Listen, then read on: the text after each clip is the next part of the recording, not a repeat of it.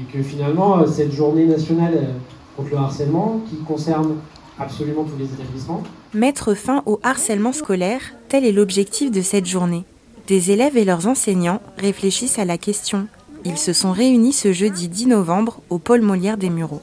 À l'issue de cette journée, des élèves ambassadeurs ont été désignés pour se faire porte-parole de la lutte contre le harcèlement. Bademba est l'un d'entre eux. Quand j'étais au collège, j'avais des, amis qui se faisaient harceler parce qu'ils euh, ils avaient des handicaps et euh,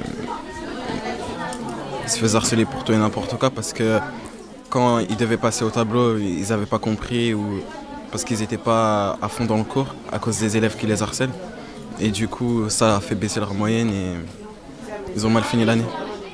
L'encadrement scolaire est lui aussi très actif sur la question. Enseignants, proviseurs, conseillers principaux, ils sont nombreux à avoir répondu présent aujourd'hui. Je suis là pour mettre en place des actions contre le harcèlement dans mon lycée.